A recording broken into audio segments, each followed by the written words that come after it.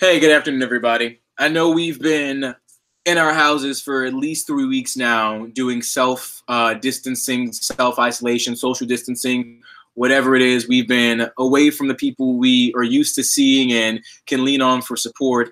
And right now, this time just shows us that we need each other more than ever, especially the ones who are most vulnerable. But all while keeping a safe distance. And I know some parents have been um, racking their brains with trying to figure out how they're going to go with day to day life and maintain some sense of normalcy while the kids are now at home and kids might be being hyperactive. So you might need a break.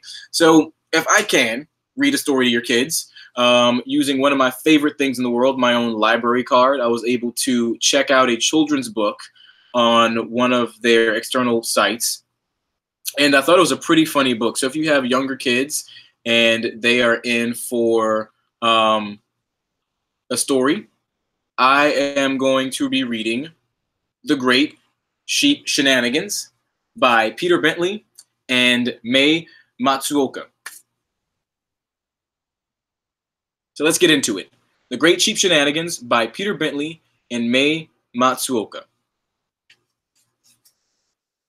A lamb for my supper will taste mighty fine, thought a wily old wolf by the name of Lou Pine, as he sneakily, slyly snuck up on the flock, but it wasn't the sheep who were in for a shock. He chuckled, how stunningly cunning I am, as he slunk through the hedge and met Rambo the ram. Scram, bellowed Rambo. Vamoose, steer clear. Wolves are not welcome. Buzz off out of here. What I need, grumbled Lou, is a sheeply disguise to give those dumb muttons a nasty surprise. So he wrapped himself up in a fluffy white gown that belonged to Ma Watson, the best shot in town. He lay on the road to get covered in gunk. Bah, cried the sheep, it's an overgrown skunk. At the fair, Lou saw cotton candy on a stick my own candy fleece. What a fabulous trick. He flicked on the switch, and at first it was fun. But faster and faster and faster he spun. He looked in the mirror and felt his heart sink. He ended up dizzy and sticky and pink. Lou found a thicket of blossoming trees. Down came the blossoms, and down came the bees. I know, sputtered Lou. I have a brilliant plan.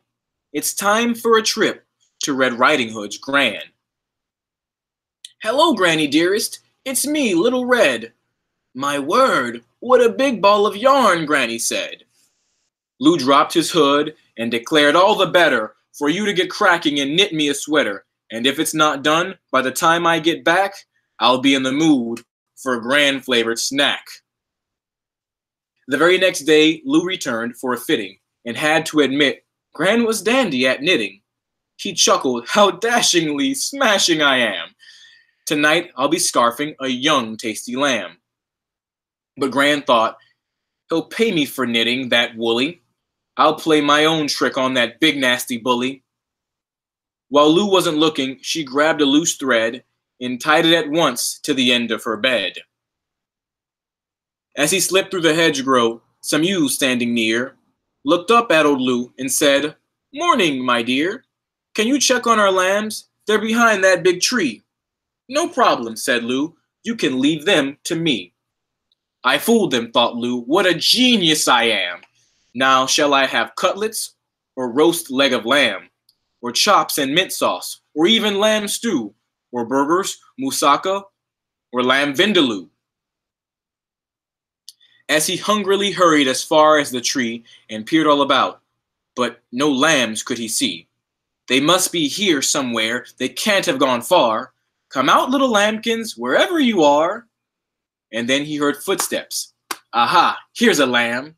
So Lou looked around and saw Rambo the ram. He aimed his big horns at the wolf's derriere and sent him skedaddling up in the air. Ouch! My behind! Howled Lou as he flew, and landed kersplat in a big pile of poo. I think that's the last of this wolf and his wiles, laughed Rambo. From now on, we'll smell him for miles. That's the end of that story. I hope you enjoyed that. This was the first time that I ever read a children's book. So hopefully I did voices and characters and everything that you parents do when you're reading to your kids before bedtime just right. And uh, hopefully they enjoyed the story. And together we can get through this crazy situation that we're going in one day at a time. In my garage reading stories. See y'all later.